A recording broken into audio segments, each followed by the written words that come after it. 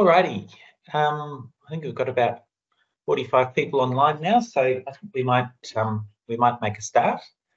So good morning, everybody. As you know, I'm Andy, uh, ED Strategy and Engagement. Um, I'm going to uh, facilitate today's celebration and learning event for United Nations International Day of People with Disabilities.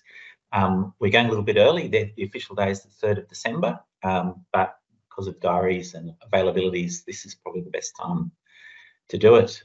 Um, so my connection with disability um, is as executive sponsor of the SPIDER project um, and also as a member of the National Roadmap uh, for improving the health of people with intellectual disability um, governance group. So I do that with the Commonwealth. Um, and I'm also a director and vice president of Melba Support Services, who provides support to about 1,100 people with intellectual disability across Victoria.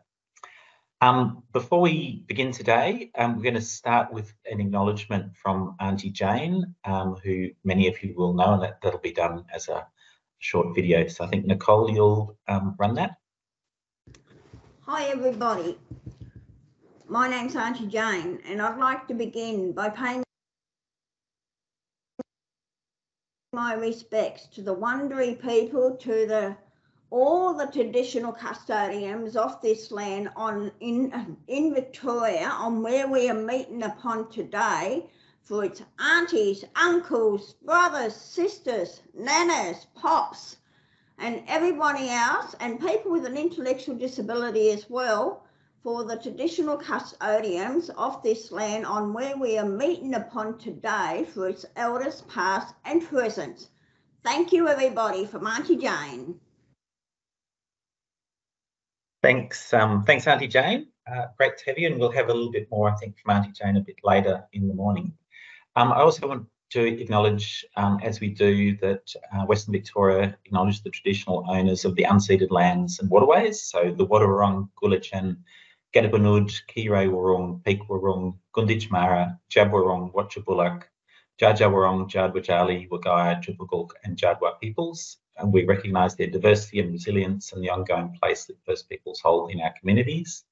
We pay our respects to elders both past and present and commit to working together in the spirit of mutual understanding, respect and reconciliation and support self-determination for First Nations peoples and organisations.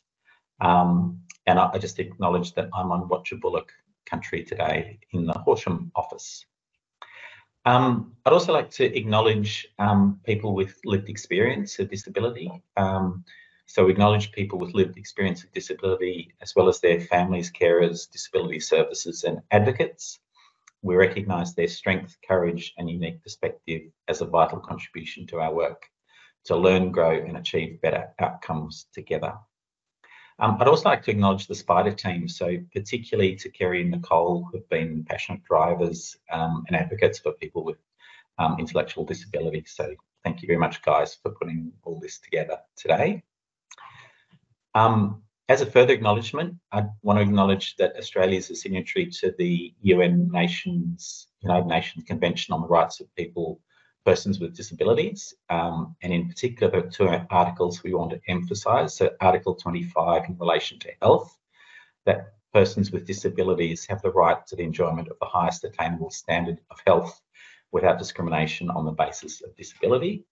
And Article 9 on accessibility, that persons with disabilities have the right to access medical facilities and emergency services on an equal basis to others in the community.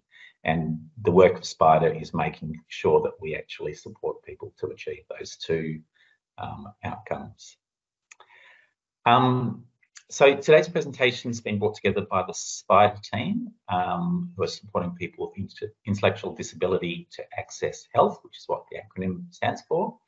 Um, and that's part of the primary care enhancement um, project um, that underpins the national roadmap for improving the health of people with intellectual disability. So we're going to play a short video now from Jack and Laura, who are going to speak about the national roadmap um, and sets the scenes for the work that SPIDER does today and the speakers we'll hear from later today. So thanks, Nicole. Australia's healthcare system is one of the best in the world. Most Australians consider themselves to be in good health. But health outcomes are so much worse for people like me living with intellectual disability. Between 1 and 2% of people have an intellectual disability. We experience double the avoidable deaths, worse physical and mental health, lower rates of preventative health like vaccinations. Many of us use multiple medications. An Australian study found on average we die 27 years younger. Many of us have complex health conditions that are difficult to diagnose. And sometimes the signs of illness are not so clear. Communication can be harder in both directions. But we want to be healthy and we have right to good health care.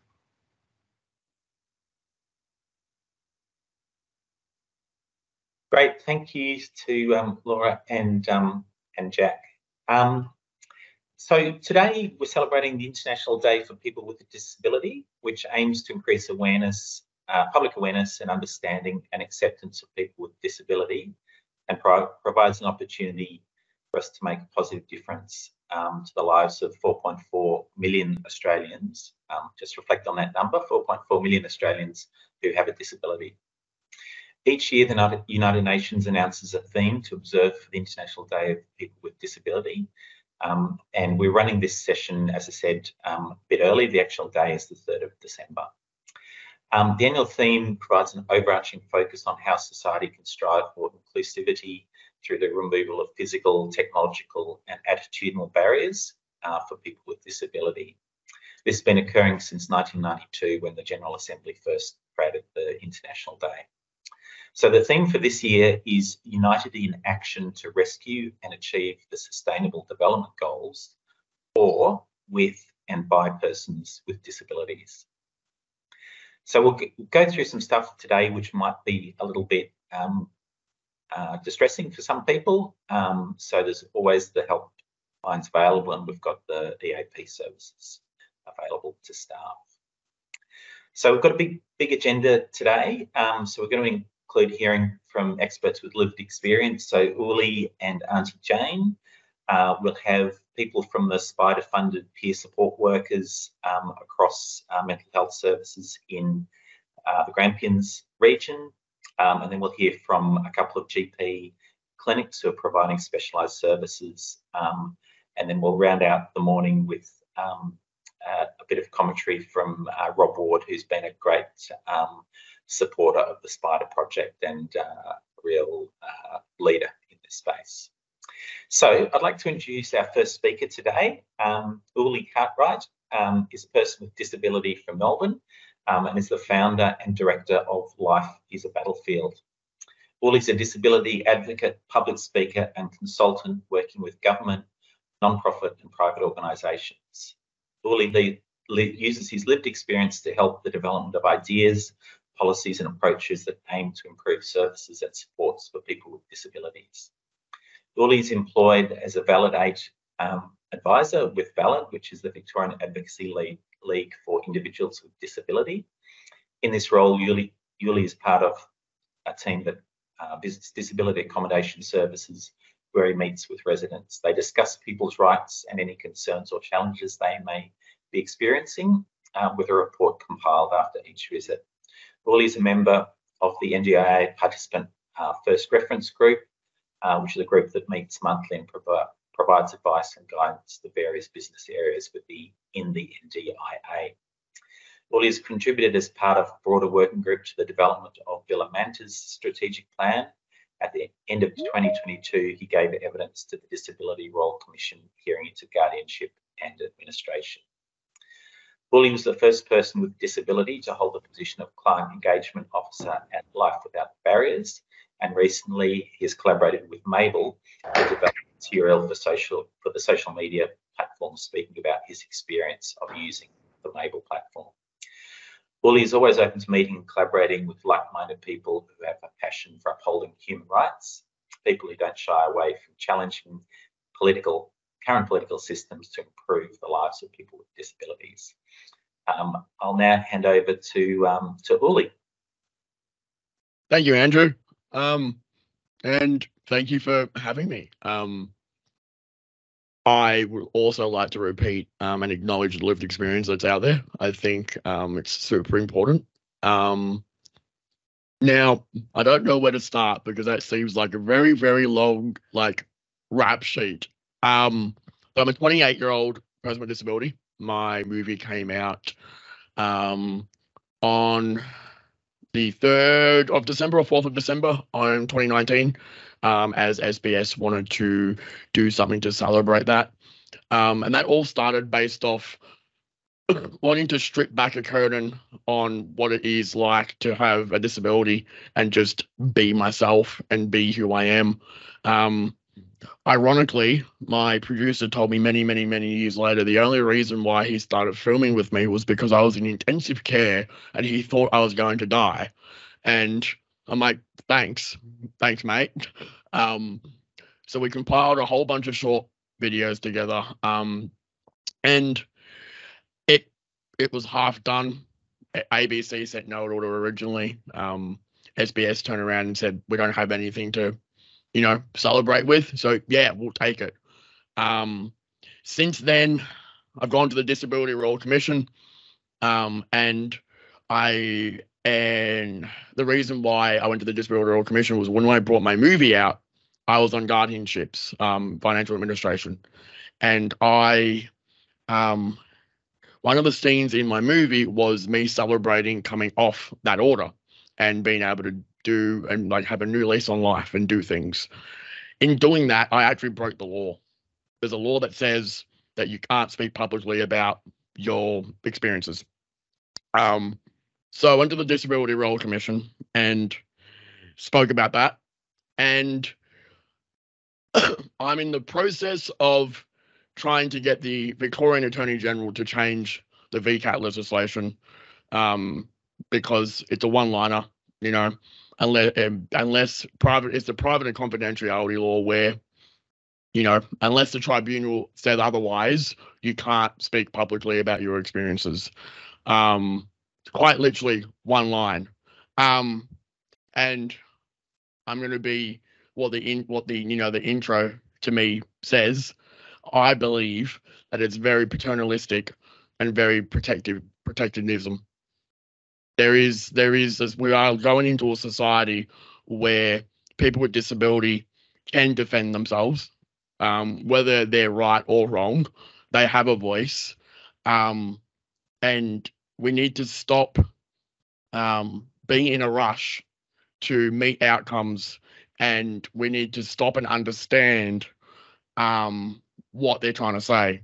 Um, as soon as yesterday, I was in an NDIA working group and I completely lost my mind because something very small happened and I got told by other people with lived experience on peak bodies that I needed to calm down or that they were trying to justify, oh, yeah, we, we get you, but we understand why the government did that. I don't particularly care.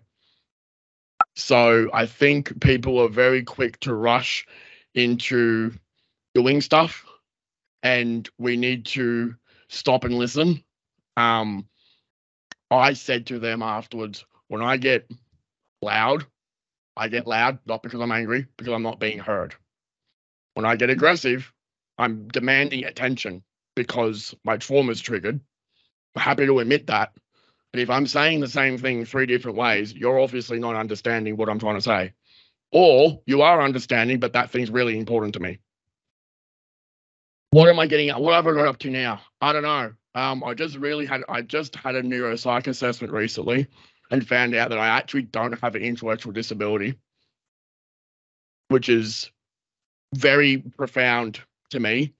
which goes into a you know identity crisis of I identify as someone that still needs help. Um, and I 110% agree that, you know, if I didn't have the support that I still do, I wouldn't be able to do what I do. Um, for example, as I was sitting here, um, my staff member next to me f- saw that I was fidgeting with something. So she grabbed, she went and go and grabbed some tape without me even saying anything because she knew my ADHD was like completely off the rails.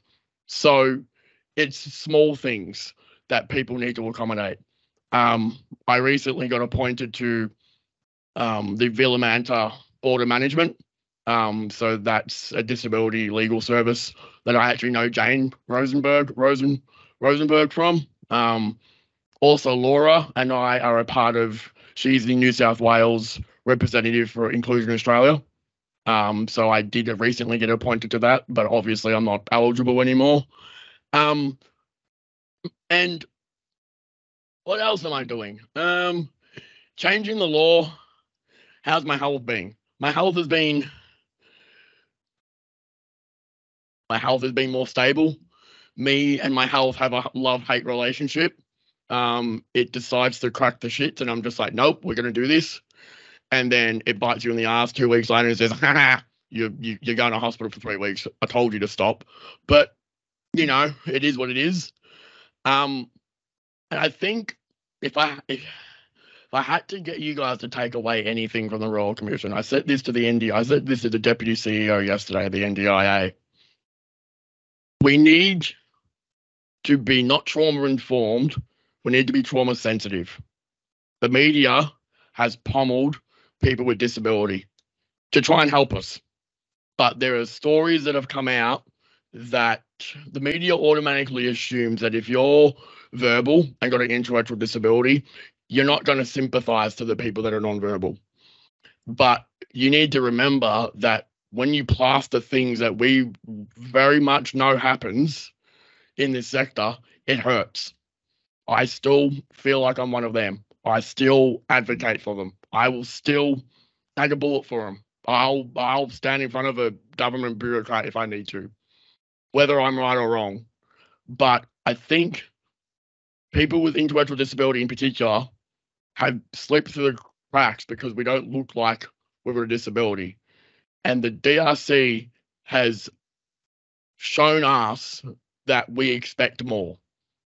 And we need to expect more, and we will expect more. Some people think the DRC recommendations haven't gone far enough. I think they did.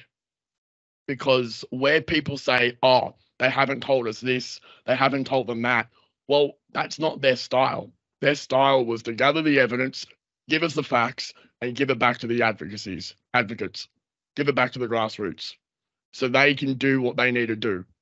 So we need to stop and think. And from a health perspective, all the discrimination you see and all the uh, bureaucracy and red tape is very well still in the healthcare system. I have a medical supportive decision maker for the simple fact that I had a major run in with my health. And because I was tired of three weeks of being in hospital and there was a possibility of me dying, I said, let's just do it. And I got told I should go talk to my mum. So I'm like, no, I need to appoint a medical guardian just in case you try and undermine me and pull the rug under from me. Nah, nah, not going to happen. So it's it still happens. It's it's still there, and we need to be more sensitive and we need to take the time because if we start rushing into solutions in the situation that we're in, people are going to check out and they're not coming back. Since Insta, the only thing that I believe, I uh, could be wrong, the last win that people with disability had was shutting down institutions. Then we started getting ignored again. Been 40 years uh, where we, we've been reinvigorated and we need to do it properly. So I, I, I don't feel like I contribute much compared to some other people that I'm involved in. But I am very strong about being the devil's advocate and just, I'm a word Nazi. It's all about the words. It's all about how something is perceived. I had um, the CEO of Yooralla and Life Barriers um, support my law reform, and they forgot to put accountability. I'm just like, you put transparency, but not accountability. Some people think, why do I work with services? Because I don't believe in this anti establishment, you know, us against them mentality. Do I trust them? No. Do they have a louder voice than I do? Yes. And the sad reality is they have a louder voice because who are you going to believe? Who's easier to discredit?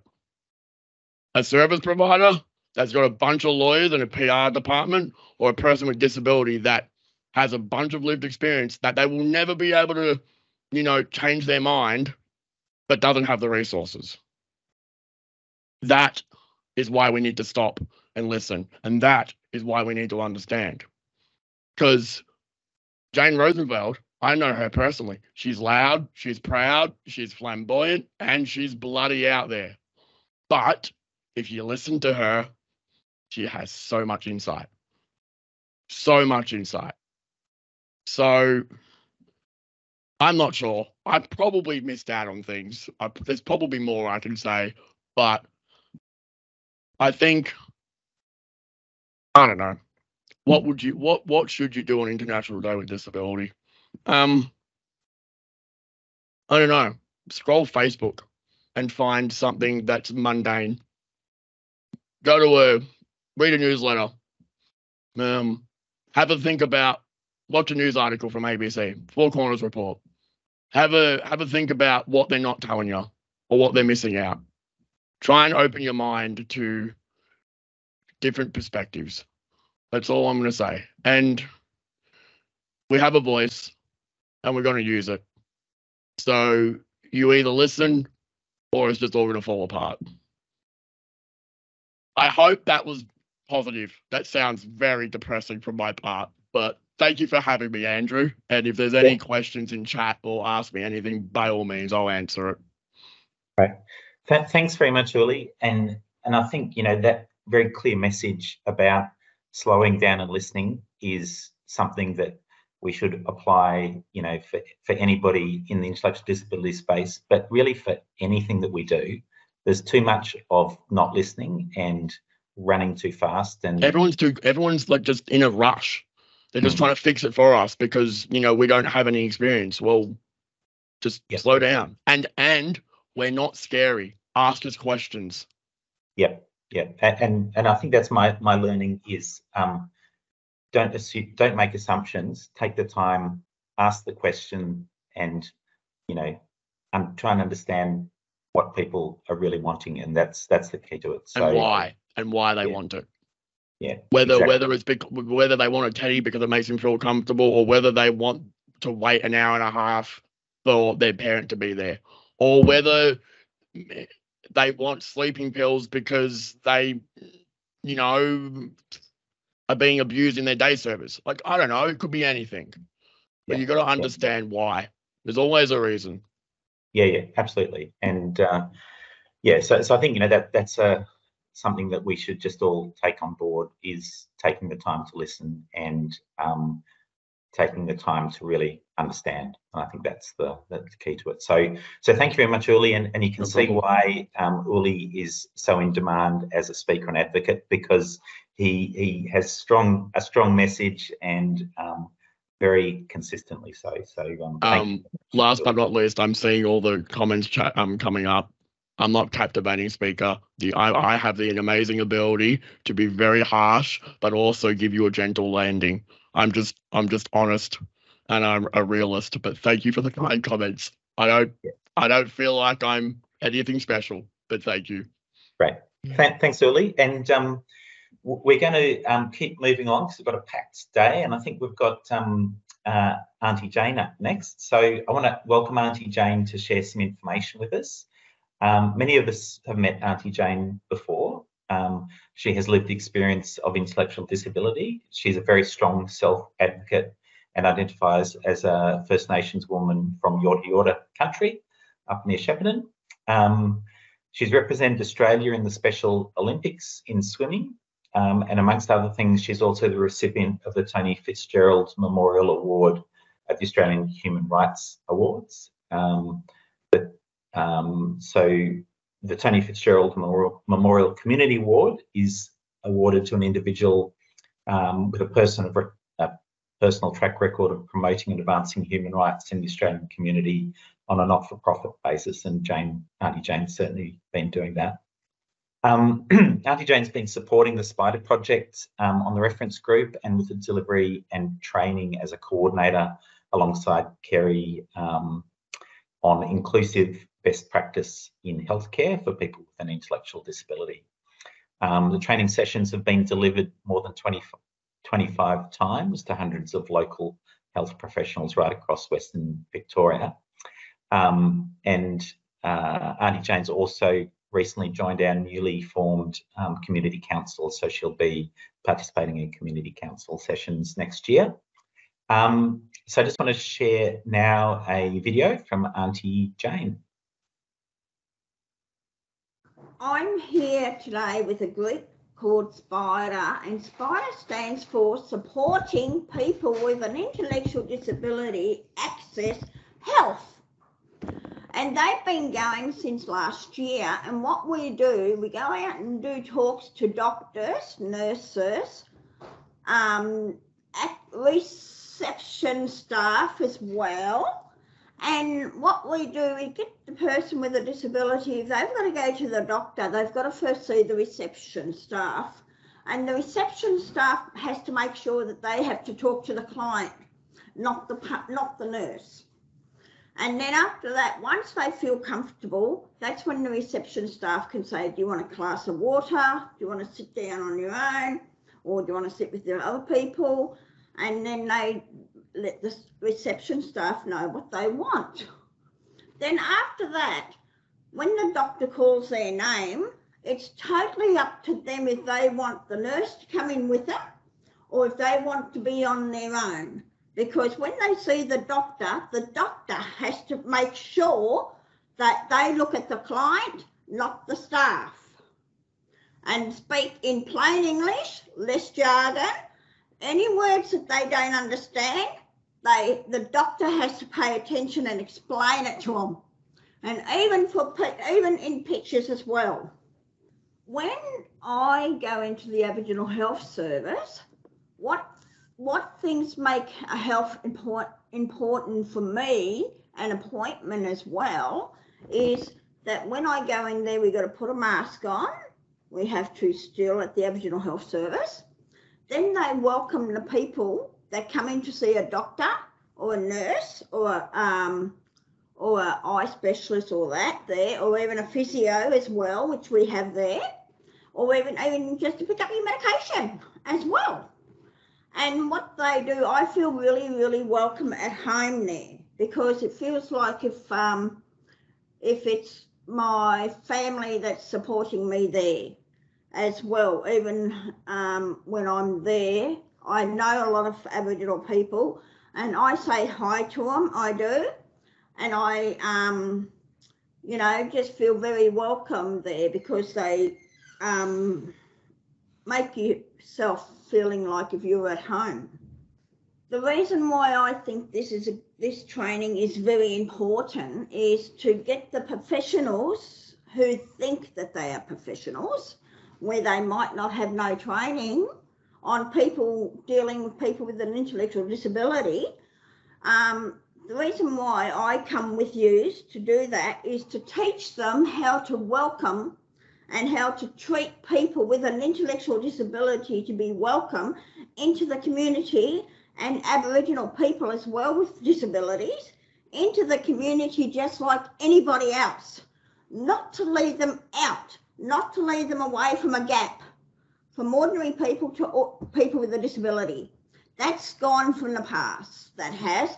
We need to accept people with any with any disabilities even if they are, uh, even if they need a lot of help or just a little bit of help, you have to accept them into the community and into the reception to see doctors and nurses, dentists, hospitals, doc, you know, anything, police stations, health services, anything. Thank you.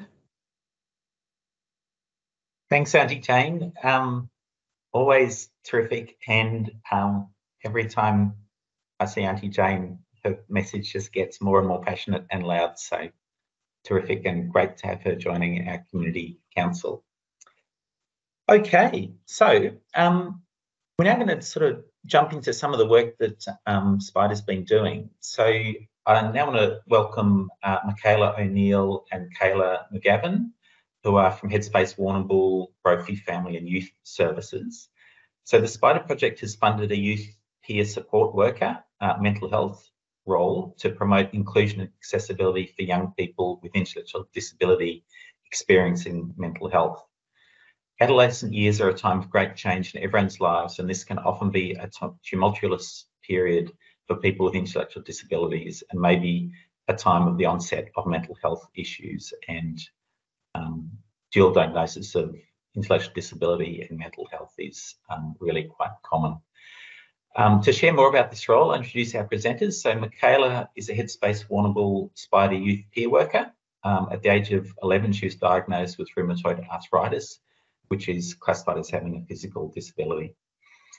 Having a disease that only that often affects older adults, and was it was very tough for her to go through at a young age, and having to navigate a lot along the way with healthcare services, education, employment, and so on as a young person. As a youth peer worker, she's using her lived experience to increase primary care service access, improve mental health and well-being, as well as helping with promoting an early help-seeking behaviour in young people with a disability. Um, Kayla is a Headspace is Headspace Warrnambool's community awareness and engagement worker. Her role within the team is to engage with community and build awareness around the mental health and Headspace services across all of the southwest. With her five years experience in the role and in community, she supports Michaela in her role as a youth peer worker. So we're going to have a, a, a short um, pre-recorded video from uh, Michaela and Kayla. Thanks, Nicole. Hi everyone, thank you for having us join your meeting today. I'm Kayla and this is Michaela beside me, our youth peer worker for SPIDER.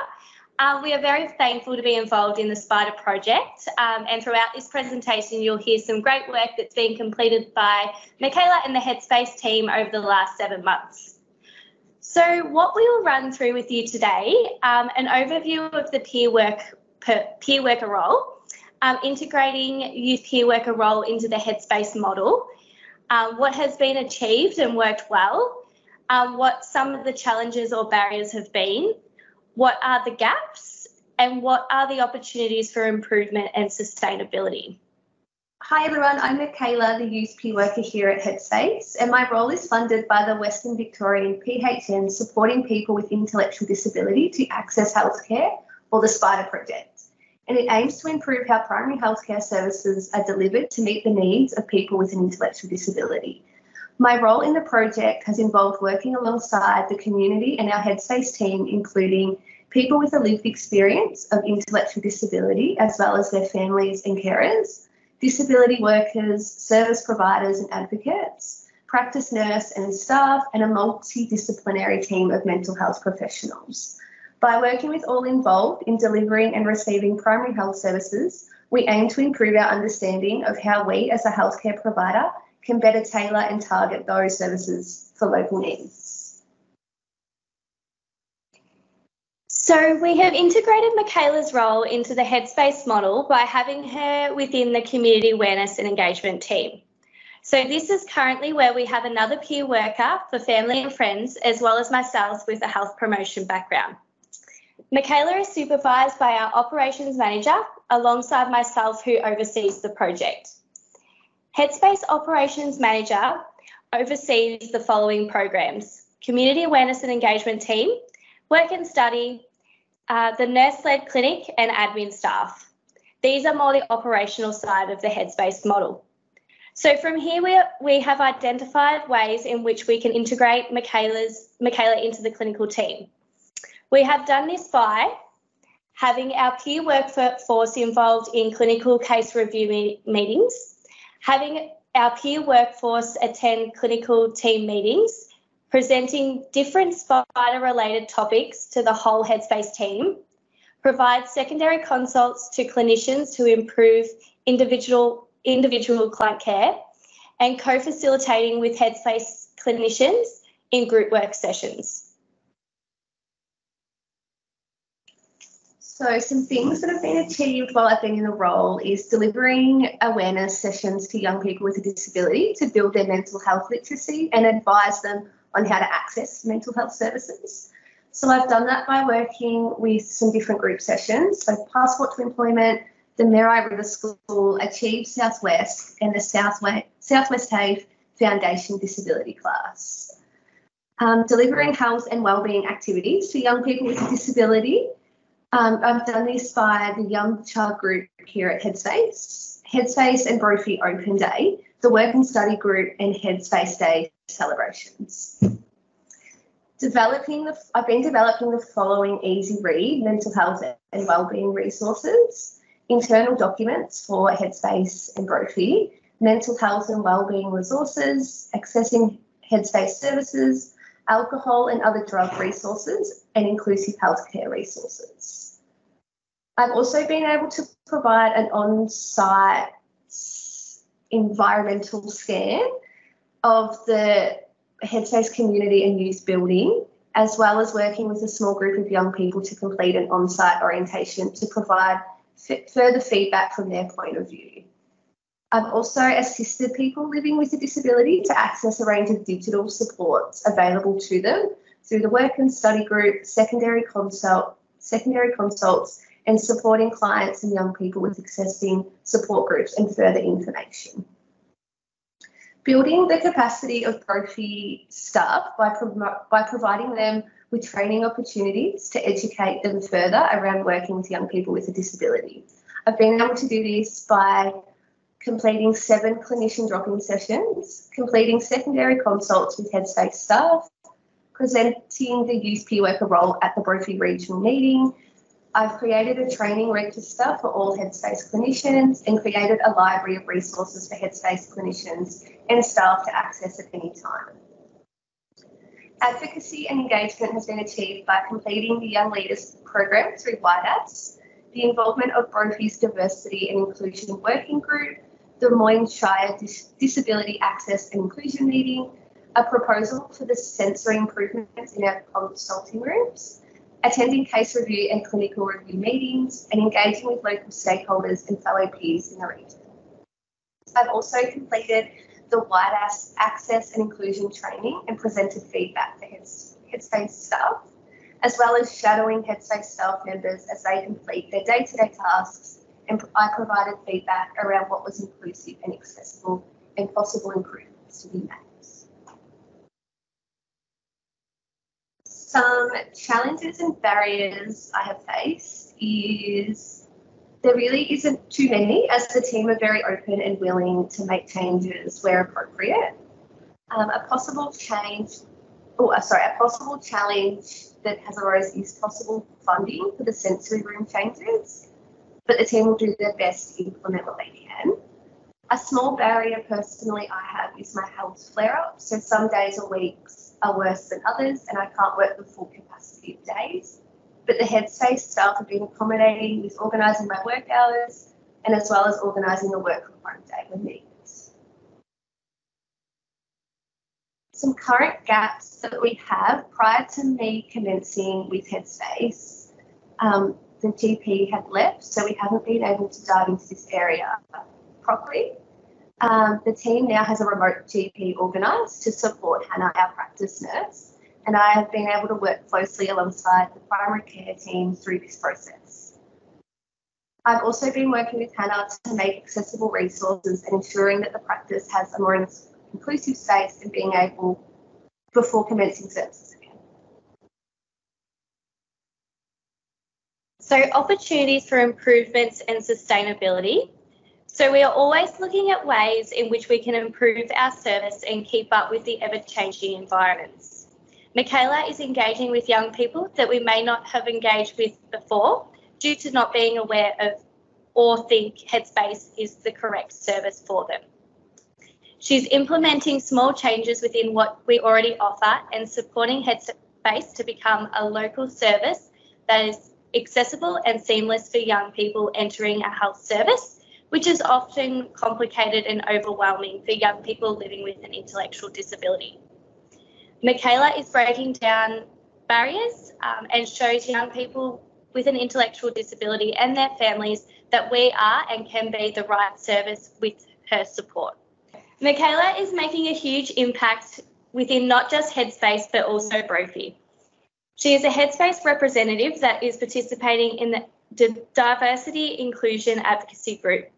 Michaela is a young person living with a disability on the advocacy group. She will be supporting the lead agency to become more inclusive and accessible organisation for all. And that's all from us today. Thank you all for listening. Thank you so much.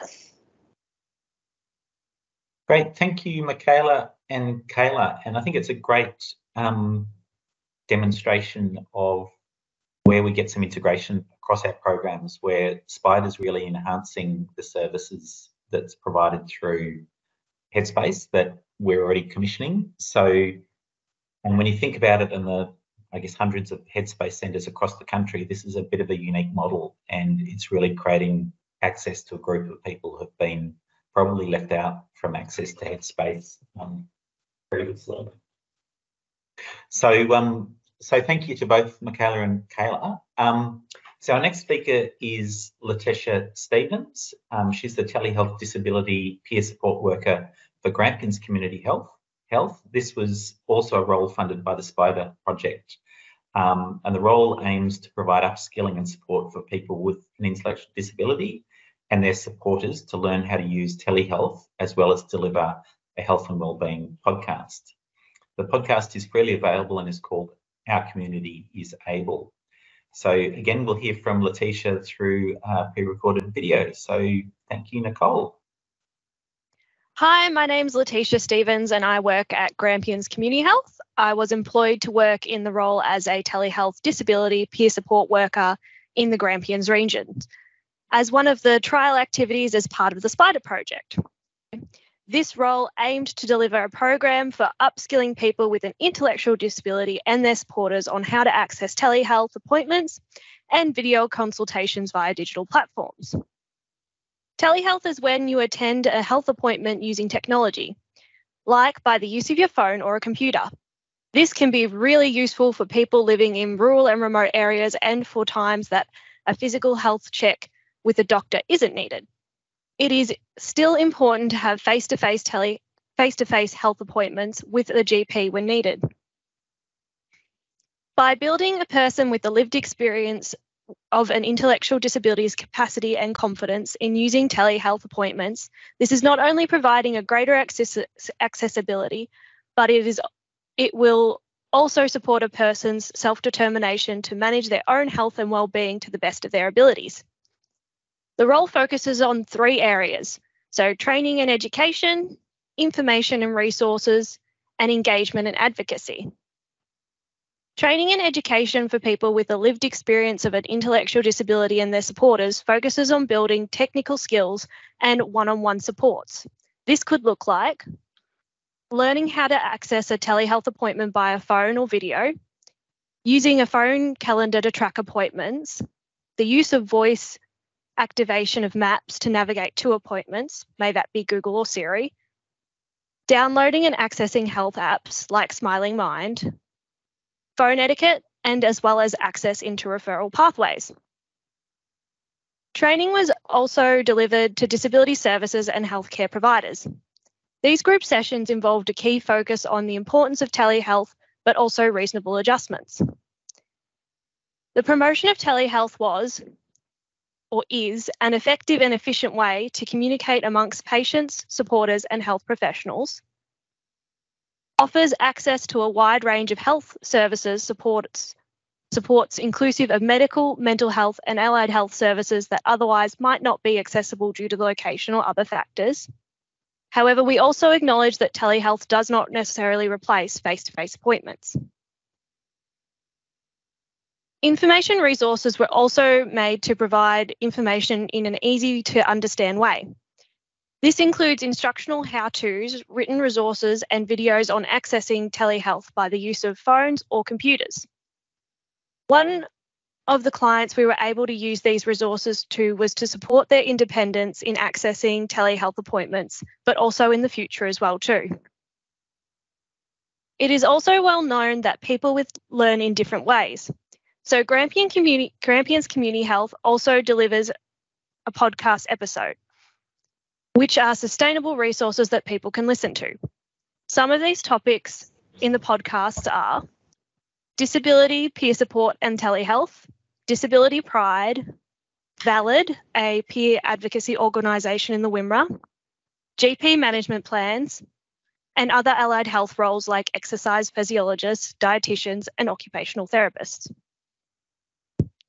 Feedback from clients was that the approach to training and resources supports their confidence in accessing primary healthcare professionals using telehealth. This worked well for clients as it was considerations were made for making changes to the learning material so they matched how a person likes to communicate, supporting the individual to learn at their own pace, we were inclusive of those without a formal diagnosis, and we were able to collaborate with services across the Wimmera region. This could be the private, a private psychologist or a public hospital. The strengths of the peer support worker brings together people with shared experiences to support one another so they feel accepted, understood, and equally as important. This work aligns with Article 9 accessibility of the United Nations Convention on the Rights of Persons with a Disability which says persons with disabilities have the right to access medical facilities and emergency services on an equal basis to others in the community. And it's really important to highlight, highlight that inclusion is everybody's responsibility. Thanks for listening. Great, thank you, Letitia. And uh, I saw in the chat that Matt's asked the question, do we have access to those podcasts? And um, Letitia's put a link there into the chat so that we can access those through uh, Grampians Health uh, website. So thanks very much, Letitia, for that. And as you say, it's a very important part of meeting those, um, the human rights uh, declaration that um, we create that access for people with intellectual disability. So um, moving on, um, we're going to next hear from two clinics. Um, the first one is the Golden Point Medical Centre and then Health E Medical um, on their trial activity in, um, through the SPIDER program um, of inclusive uh, inclusive of patient mapping and the framework they're using to implement quality improvement activities and the outcomes identifying all touch points for a patient with the clinic and creating a shared vision for a whole of clinic approach to increasing accessibility for people with an intellectual disability. So um, from Golden Point Medical Centre, we'll be hearing from uh, Anesh Cherian. Uh, Anesh is based out of Ballarat with his family, uh, his wife Nisha and his twin girls. Their journey started in Bacchus Marsh. Um, they now ru they run a medical specialist service um, called Dove Touch Specialists um, for children, um, together with a paediatrician uh, and other allied health practitioners. Um, presently, they have over 2,000 children coming from across the state um, to receive special care. The children present with multiple needs such as developmental delays, behavioural and medical issues. This journey has led them to open a GP place, uh, so Golden Point Medical Centre in Ballarat, for these children and parents to help provide a safe and welcoming place so the children and others coming through are getting continued help. So I'll pass over to Anesh. Thank you. Uh, thanks, Andrew. Um, I guess I just want to first thank uh, thank you for inviting myself to be here. Um, I probably want to start off by saying some of the speakers that we've had from Auntie Jane, Uli, and the others. Um, I think one of the key things for me was to listen, and uh, this listening process has not been easy. So it, it has uh, taken a lot of time, still is. There's a lot of training. Uh, PHN's been great. There's a lot of people there that that constantly support. So it's it's a journey. It still is. Um, so what I'd like to do is probably start off there, just give you guys a quick high-level view on what we've done, and and we it, it's still it's still evolving. Um, so out in Ballarat, where we have the clinic, um, um, we have uh, uh, forms. So we started off the center by having forms, and we had, I think, uh, four forms, four pages to start off with, just to capture things with the patients. And within uh, few patients' conversations, we realized that, hang on, people are sitting there and they're just feeling overwhelmed, just trying to fill the form to just meet the GP. All that they've come to do is get care, get attention, uh, get help, um, and sometimes with the children running around, the parents themselves get overwhelmed. So that um, started off. So that that journey took us from changing the forms to online, so that patients can fill up, the families can fill up in their space, in their time, um, at, at home, and, and that sort of gave them the space to fill up, gave them the room to add more things, gave them the room to avoid um, things that they would have otherwise missed and then it gave room for more conversation. So forms started becoming online. Um, and then from there, we realized that people want to make bookings. And we realized that the software was a limiting factor. So we had to change the software. And the whole software had to be canned. And then we had to change the software to just allow the patients to book, the reception staff to be able to have conversations, to just simply put it in, have the conversation with the um, patients coming in, the nurses to do their bit of work and then for the doctors to have it. So it, it became a uh, revolving thing where one led to the other. So the website had to be changed, which still is. The whole medical center layout had to be changed. We had chairs in a way that people felt, um, I guess, intimidated. They were like, okay, well, hang on, I want my space. I want my room. And, and that sort of gave us the uh, we, we, had to change so that children can run, children can be around, but at the same time, if they wanted to sit, uh, that space was there. Um, so that was that. We'll go on to the next slide there. And um, just quickly on that front, um, so that change from an organizational perspective, changes that we did were forms, giving access to information so that when people have information, they get the information, ability to make the booking, and then we had to identify staff there. So reception staff, this is what you can do. We we give them space to have a conversation. What trainings do we need for that? So we had trainings that we had to dedicate to the reception, separate for the nurse, separate for the doctors, and even simple things like calling the patient back. That became a big roadblock in terms of how we have to do it. So sometimes it had to be a simple text message had challenges so we had to make sure that people, um, some people wanted to be called. So we give the time to give them a call, find out the information, and they have specific time to make the booking. So those were things, and it still is a learning thing for us. Um, in terms of the different patients that we've involved in the journey, there were a whole lot of parents um, with with children with special needs. So we've actually sat with these mothers with with predominantly mothers and, and then the dads in some instances, but just to sit with them and say, what is a challenge? And, and some of the conversation was, um, I don't feel safe. Some of the conversation was, I feel rushed. So those were conversations that that took us to actually peel the model on what do we need to provide, what are people looking for. Um, so yeah, that that was that there. Um, we'll go on to the next slide there. In terms of um, actions that we've taken, um, my wife and myself, uh, we, we just had to realize that we just can't do it normal. Um, if, if we do it exactly the same way as everything else out there, these people feel rushed. They don't feel um, they don't feel answered. They don't feel being listened to, and and that was hard because uh, my wife tells me that I'm not a good listener, so then I had to practice listening myself, still am. And it, it sort of took us on that journey, and it still is. It's one step at a time. Um, but we had to take ownership at the start, from the from the beginning, from the top, saying that okay, no, we, we just have to be ready to change, whatever it might be. Um, upskilling staff, we we have staff, and, and sometimes staff feel overwhelmed. If if you have people coming in and and they're not equipped, we just realized that that, that won't be there. So it, be, it came into a process where we had to have this constant conversation with them, change things, have templates, change um, environments, allow them to talk out, allow them to vent out if that had to be there. Systems, just like I explained before, we had to change our whole software. The whole software had to be changed.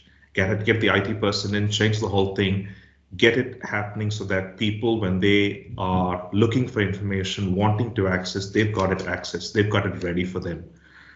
In the clinic, we had to um, make sure that we are looking at the patient, looking at the people, and giving them a conversation, giving them an opportunity to say, Hi, bye, how are you?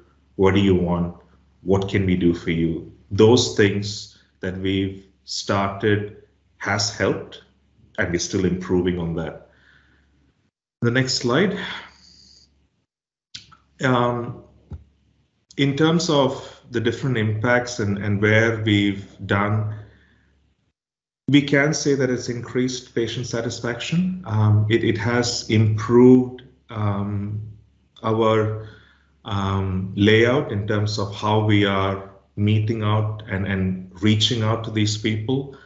Um, I've um, one of my conversations was with an 87 year old gentleman who came through, and uh, his his thing was, um, Anesh, I don't feel valued. I feel like a number when I go to my medical center. It's a number. It's a tick off, and that um, blew me because um, my my dad's 78, 79. He's overseas, but it comes to a point where where do you value these people? They're not a number and and that was different. The other one was a person in late 20s, sorry, early 20s. Um, he was just struggling with just thinking, getting things straight, but having conversation over multiple appointments that we've had, he's now told I feel calm. So he's told a support worker. He's not told us directly yet, but he's told a support worker. Support worker gave us a feedback saying, I feel more calm when I come here. I'm not agitated anymore. I feel like you're listening to me. So those things are the feedback that we're getting. Um, but but like I said, there's still scope to improve. Lots more there. Let me just move on to the last slide for us. Um, in terms of inclusion, the key thing for us was um, we need to be mindful that people have their environment, their circumstances, their surroundings which is impacting on the way that they might come out.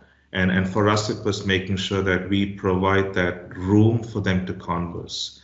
Not saying no. Um, there there's a way to to give them room. And as long as we give them a room there is a story they have to say. And that story is important whatever that might be. And um, in terms of satisfaction it's is it is it sustainable um, it's hard work. Sincerely, it's it's it's it's really hard work to just go through the whole thing. Um, but I think the best part about it is we can see the difference that it's making to people's lives. So if it is one person at a time, well, so be it. So that's that's our journey. Thank you. Thank you very much, Anesh. And um, yeah, it's really great to hear that journey and the willingness to take the journey. I think the frenetic pace of medicine and general practice in general, I think, you know, it would just be so great if more could have that same approach to taking the time and, uh, you know, making it accessible. I think, you know, particularly in intellectual disability, um, there's a lot of talk about behaviours of protest and so on, and you know, probably two thirds or more of the time, the behaviour of protest is in fact due to an underlying medical condition or an irritation or a lack of understanding um, in communication or whatever it is. And if people just slow down, understand this, and actually look for what the underlying cause is, many of these things go away. And people who have been classified all their lives as difficult, um, in fact, have much, much improved lives. So I think you know uh, what you're doing is um, is fabulous. So thank you very much. Um, So we're going to move on to our next clinic. Um, so I want to introduce um, uh, Health E Medical Centre, um, in particular Megan Frisch, who's the co-nurse manager, and Dana Slorach, who's the practice nurse. Um, Megan completed her Bachelor of Nursing degree at Deakin um, and uh, continues her love for Geelong in both community practice and nursing fields. Um, and she's been at Health E Medical since 2012. Um, she's got three beautiful children and provides um, nothing but compassionate care in the work setting. So she's completed further studies in immunisation, wound care, ear health, drug and alcohol testing, um, and uh, has a, a well-rounded general practice knowledge. Um, Dana has um, uh, worked in GP, GP practices as, as, a medical receptionist um, and then completed a Bachelor of Nursing at Fed Uni in 2021 um, and is now nursing with, uh, um, with um, Clinic e, e Health Centre. Um, so um, Dana support, enjoys chronic disease management and working with a supportive team in the treatment room. She's also a nurse immuniser and has qualifications in micro ear suction, drug and alcohol testing, and works closely with um, Department of Veteran Affairs patients uh, as part of the coordinated Veterans Care program. So we've got a pre-recorded um, uh, piece from Dana and um, Megan. So we'll play that next. Thanks, Nicole. Okay, so um, I'll tell you a little bit about our practice here. So Health E Medical Centre is a large general practice situated in Geelong, West Victoria. We have an active patient base of over 13,000 patients from a wide range of cultural and socio-economic backgrounds. Uh, participation in this trial was important to our practice to be able to improve access and provide inclusive care to our patients with intellectual disabilities. Um, our aim with this activity is to improve our process for the CHAPS assessment appointments for eligible patients to improve their health outcomes, but to also uh, build effective relationships with all staff within the practice, to give patients and their carers the confidence to discuss and be proactive regarding their health needs. Uh, what we're doing here at Healthy, so currently we're in the process of making alterations to our clinic website, um, like adding an audio reader, um, as well as ensuring the language used is appropriate, positive and inclusive as per the Victorian Government guidelines. We're placing notes on patient files for specific needs um, and carer contact details. These notes are added to the patient details of the software and may include that a person prefers to wait in a quiet room rather than waiting in the waiting room, as well as the main carer's name or the preferred method of contact.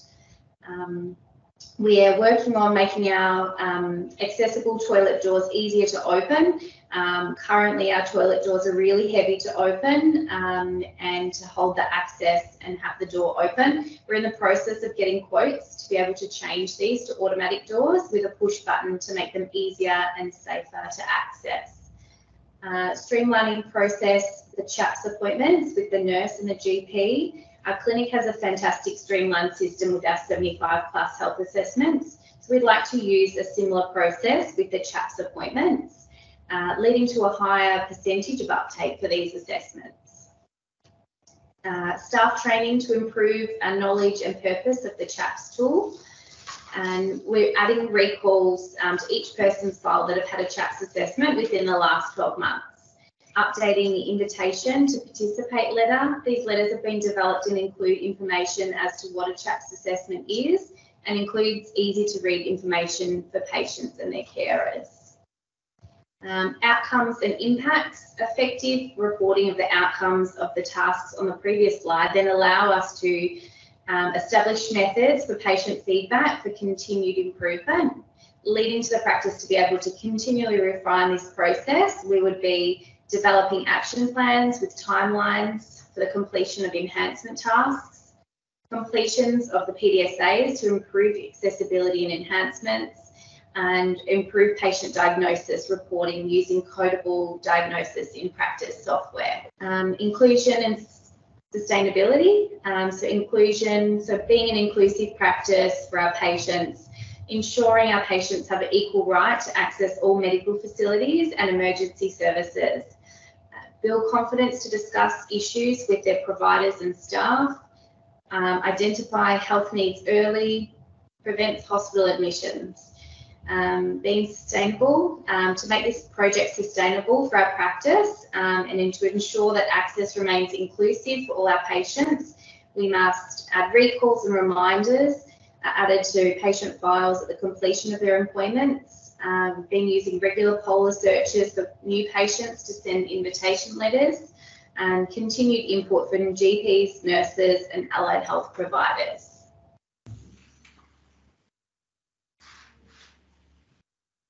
Great, thank you to Dana and Megan for that um, that update. And as you can see, there's a lot of change that um, practices sort of can work their way through to become more accessible. Um, and I think that's the challenge for us with our 225 practices across the region that there's probably four or five or six that are on the journey and we really need to get all of them on the journey. So um, we're we're going well. So we're up to uh, Rob, who's going to be our last speaker today. Um, so Dr. Robert Ward is a GP who's been um, a facilitator of SPIDER's online education series, so the ECHO series, throughout this um, program. Um, he studied medicine originally at Melbourne, returned to Geelong um, and was a resident at the Geelong Hospital before entering general practice 27 years ago. Um, the birth of his son 25 years ago introduced him to the world of intellectual disability and to local service providers. He's been a board member of Gateway Support Services for the last 23 years. Um, he's experienced disability from the perspective of a busy general practice through the eyes of a parent and the challenges of a large provider of disability services. He's also observed patients and families' journeys over a period of time where the service provision for disability has undergone a seismic shift with the introduction of the NDIA. More recently, he's been involved with um, West-Vic and the SPIDER project, exploring the challenges faced by people living with intellectual disability, accessing healthcare, and the health disparity that they experience. So we've got a, a um, short video from Rob, and um, we'll play that now. Thanks, Nicole. Hi everyone, um, my name is Rob Ward and I'm a GP in Geelong and I was wanting to share with you today my experience of working with the SPIDER team on this on the SPIDER project um, to help improve the health access for people with intellectual disability to the healthcare system. So I've been a GP for, for 30 years and I've also got a 27 year old son who's got an intellectual disability so this project sort of uh, is quite special to me and I've probably got a fair few patients um, with an intellectual disability as well. So learning how I can improve um, their interaction to the, the health system was a really an important part of getting involved in this project for me. And I wanted to share with you today some of the people that I've met and some of the ideas that, that I've learned and how I'm going to move forward um, with what I've learned through the SPIDER project to date. So it's probably worthwhile just very briefly going back to July 2021 when the National Roadmap for Improving the Health of People with Intellectual Disability was released. And to remind ourselves that you know half a million Australians live with an intellectual disability of some form and they have a much higher rate of emergency department presentations and hospitalisations and have twice the rate of preventable deaths than the general population with significantly higher physical and mental health conditions. Um, they also have a lower rates of preventative healthcare and also identify people with intellectual disability having lower rates of health literacy. And also health professionals often having minimal or no skills um, or lack the knowledge um, to look after people with an intellectual disability in any effective way. Um, and that's really where the birth of the, the SPIDER project came to be from this national roadmap and the federal government's initiatives. So I suppose born out of the national roadmap was the SPIDER project, which was the West-Vic's PHN's initiative. Um, and that is supporting people with an intellectual disability access health. And it was designed to support the capacity of the primary healthcare system to deliver better health outcomes for people with an intellectual disability. And I suppose this is where I became involved as a GP with a special interest in intellectual disability and I've met a lot of wonderful people along the way and I've learnt so much and I just wanted to share a little bit about that with you um, now. So I think it's important just to look at who was involved in the process early on and really great credit goes to Kerry and Nicole from the Spider team from Westvic um, PHN. They've done an incredible job at linking so many professionals together, um, so many people with an interest in this area and trying to corral us all and connect us all and try to make sense of this whole um, difficult and complex area of providing healthcare to people with intellectual disability. Now, I was on the reference group um, with Nicole and Kerry, and we also on that group we had participants, so people with an intellectual disability, we had their parents, we had carers, um, we had paediatricians, we had public health experts, and service providers, so those people who in the community provide services to people um, with intellectual disability. And together we worked on um, various ways of delivering health. I suppose a lot of my involvement was um, on delivering um, some um, internet-based um, meetings and educational sessions designed at primary healthcare, uh, probably with a focus on general practice, but all those who provide primary healthcare to people with an intellectual disability in our community. So Nicole and Kerry were experts in um, gathering a whole load of magnificent subject matter experts um, for these sessions. And I, I, got to meet them um, as facilitator of the web-based um, webinars that, that we produced. And we produced a whole series of um, informative sort of sessions and had great, great discussions about lots of aspects of um, providing healthcare to people with an intellectual disability. So I'm sorry, this list is is quite the writing's so small, but the list kept getting bigger and bigger as I thought about the, the wonderful people I'd met and who helped deliver these um, educational packages. Um, first the, um, the, participants and people with a lived experience um, with intellectual disability and their carers. Um, we provide we had some great insight into um, some of the difficulties faced by people with intellectual disability in accessing the primary healthcare system as it's set up. And it was almost quite worrying how difficult that was and the problems um, that they faced um, during this time. And I really appreciated the, the personal insight and stories um, these people were able to bring to the table um, to, to deliver these these sessions. Um, particularly, I, I learned the, the term reasonable adjustments. Um, which meant that from a primary health point of view, um, small adjustments we do to our practice can make a huge difference to how someone can access our services. Um, and also learned about barriers that I never thought existed. Um, I just want to go through some some of the people we met. Um, obviously, mental health is a, is a, huge issue with intellectual disability as well, um, and the psychiatrists, um, both local and international, spoke at these sessions. And we spoke about the difficulties in, in diagnosis, the difficulties um, in medication, and particularly the issues of over-medication in people with an intellectual disability. Uh, we spoke to speech therapists about communication um, for people with an intellectual disability, often communicating um, non-verbal ways um, and ways to improve that communication um, from people with an intellectual disability. And the other thing that struck me is it's not just communicating with um, the, the person or the patient communicating with, with doctors and the health system, it's also the way we communicate and provide information, both verbal and written, and try to get that in a way that our patients can actually understand. And that's part of those reasonable adjustments is maybe thinking about different ways we can do that. And the speech therapists gave wonderful insight into that.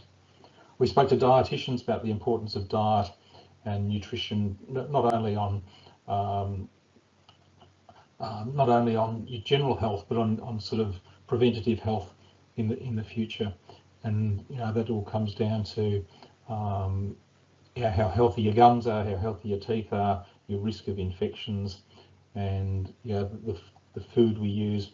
And that also got um, discussions going about how we how people with an intellectual disability um, access food and who is primary health carers we're supporting people to have a healthy diet and it also goes back to um, how we communicate that. We spoke to diabetic educators um, and the importance of um, adequate education, especially for those people in the care sector. Uh, people with intellectual disability have a higher incidence of diabe diabetes, and obviously control can be more of a challenge.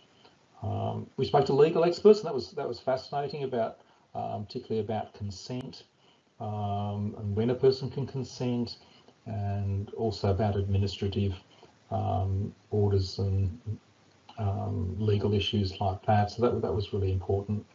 Um, we had pharmacists. Once again, we, we spoke about um, medications and how often people with intellectual disability have uh, overprescribed medication, particularly to um, try to control behaviours, whereas it may not be the most appropriate um, most appropriate way to go. Um, one of the interesting things that was brought up is that often or sometimes people with intellectual disability are prescribed medications that have a side effect that because people are non-verbal, they would have a great deal of difficulty in um, expressing that to their GP. And that was really a revelation to me that we could be causing them side effects that they can't even explain to us. We spoke to behavioural support practitioners, which is a GP I hadn't really come across in the past, or they've just been on the periphery but I'm certainly a lot more aware of them through the Spider project and engaging them um, to have more whole, more holistic approaches to um, people's behaviour and well-being. We spoke to health policy experts, you know, high up in government advisory areas, um, and that, that was amazing to see where they're coming from and really to be reassured there's a lot of good work being done by a lot of fantastic people um, high up, and they do think about things, um, and they are really open to listening um, to the concerns of the people more at the coalface here. Some of the other services, the Victorian Dual Disability Service, um, particularly talking about um, that dual disability of intellectual disability with mental health. We have the Centre for Developmental Disability Health at Monash Health, invaluable in their insight into um, the health systems and accessing health um, services for people with intellectual disability. We spoke to the Office of the Senior Practitioner, particularly about the overuse of psychotropics. And of course, we had specialist paediatricians um, involved in this service. So that was um, really interesting to get their insight into that early, early aspects. And the other one was an important one, the, the transition specialists. So that we, we learned that the it's really important the transition, the transitions through through life uh, for people with intellectual disability are, are, a point of vulnerability, and they're really important to plan for and to manage because um, we know they're going to happen. So we had some wonderful sessions with all these people, and they're all got recorded, and they're all available on the PHN website somewhere. Um, so please look them up if you want to because they're, they're fascinating um, people and fascinating um, experiences to, to learn from. So what, what, what do we learn? Um, I certainly learned that people with intellectual disability face way too many barriers affecting their access to healthcare. And as a consequence, a lot of them, their health outcomes are not as good as they, as they should be.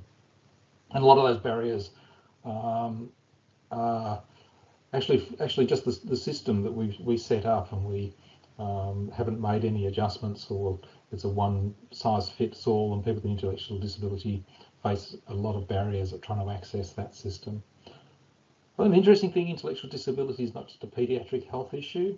I mean, certainly as, as doctors and medical students, we're often taught about um, intellectual disability as a paediatric subject or with the paediatricians and you know, in those first 18 years, the paediatricians are sort of the experts, and then all of a sudden, uh, that person is launched into the adult world, and that's where they face a, face a lot of barriers. So intellectual disability is not a paediatric health issue necessarily. It's a lifelong issue that will transcend many therapists. It will transcend the GP.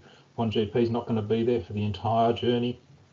You know, the parents are not going to be there for the entire journey. Um, and we need to sort of plan and think long term when we're looking after people people's health um, from the health system. Um, communication is really important. That's the communication, particularly um, not just with the with the patient and with the practitioners, but also um, between practitioners because often there's not a lot of chatting at the moment between um, health professionals and that's a, a, big barrier and could be um, we could do better. Um, access, improving access to um, appointments and improving access, you know, either financially, um, make services available or just have them available, um, the services that people with intellectual disability need. I spoke about reasonable adjustments before. That was that was a term that I just only really learnt through the Spider project, but it's, an, it's such an important thing that we all take on board in primary care. And also learned that transitions, as I said before, are really important because they're going to happen. They're plannable, they're predictable, and they're a point of vulnerability where health information gets lost. You know, transitions between um, different practitioners, different carers, different stages of life. Um, very vulnerable time for people with intellectual disability. You know, and if, if you fast forward, you know, 5, 10, 20 years, it's those transition points where information has got lost and the health outcome is not as good. So we also learned that care can be quite fragmented um, due to poor communication between health professionals. And we also learnt that there's a, um, an over or inappropriate medication um, use in people with intellectual disability, often with consequences of side effects um, and poor outcomes. There's a big section on the annual health assessment, how important it is um, to take some time um, every 12 months to just take stock of where we are. And we learned about the CHAP tool. Um, and the use of that. And I'm sure with the um, the roadmap and its emphasis on the CHAP tool and the developments that are going on there, it will be more accessible to GPs, which is a really fantastic tool. Um, the team approach is really important. You know, we can't do everything um, as individuals. We need to get out and communicate and talk to each other. Um, the other thing I learned, there are really many professionals out there who are highly committed and highly passionate and highly skilled with people with intellectual disability. Um, just pity we can't clone them and, and put them more around, um, but there's a lot of people doing some great work there. The other thing I often learn is sometimes a system change is needed. You know, it's not just an individual practitioner um, making their practice more available, but there's sometimes bigger things need to be changed in the whole system that we've created. So personally with the SPIDER project, um, I've been involved in, in, the training sessions and the subsequent webinars. It's also led me to presenting to um, the Westvic PHN annual general meeting and the annual symposium, um, trying to increase the awareness of people with intellectual disability. And I've also been invited to um, to present at a number of um, paediatric conferences for paediatricians, both in Sydney and Melbourne, at the Royal Children's Hospital, to bring about a general practice perspective, so more from the primary health setting. I think that's been really valuable, adding um, our perspective um, to that of the specialist group in the paediatric years. Um, and I've also had ongoing involvement with the Office of the Senior Practitioner and with assessing the annual health assessment tool to try to improve that. And that's both been very rewarding for me. So just a few takeaway points because I know I've gone over time. Just the importance of listening, um, documenting what's going on and the, the journey of the patient, because um, they're not going to be your patient forever, but to document that for the next the next stage of their life. Being more proactive in advocating for our patients, um, working as a team, trying to find out who else is available, and making sure that you contact them. Trying to give a little bit more time and a little bit of thought um, into how um, we can we can better support our patients is really important, and also not accepting the system as being anywhere good enough and advocating for change and improving when we see um, room for improvement and just being really passionate about that. So look, thanks for thanks for the time and thanks for having me here today. From a general practice point of view, it's been an amazing experience, um, and I hope the resources we've produced will be helpful uh, for people to look at.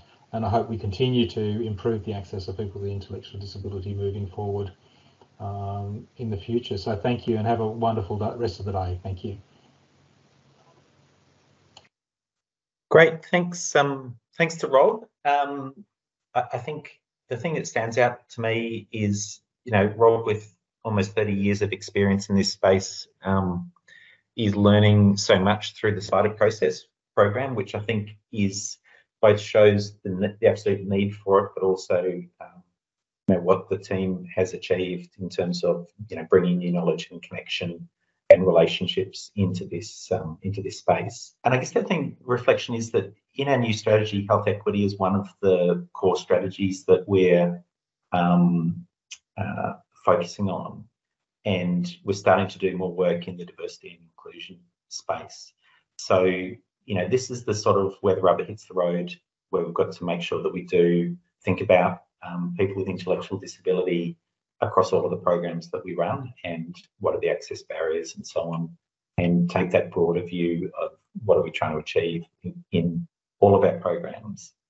The, the, other thing I think that's important to note is that um, for this year, the the theme is around um, the United Nations Sustainable Development Goals and particularly around um, you know, putting effort into achieving those goals, but also doing it with um, and by and for people with inter intellectual disability. And you know, in my role on a disability um, provider board, um, we reflect a lot on climate change and what impact that's going to have because we have to have action plans for bushfire response and so on for group homes and so on and and what do we do on high heat days and how do we make sure that people who don't necessarily have the capacity to manage their own environment can you know are appropriately cared for in environments? So so i think you know that the, the you know leah's leading a really important piece of work on sustainability and now environmental and social governance um,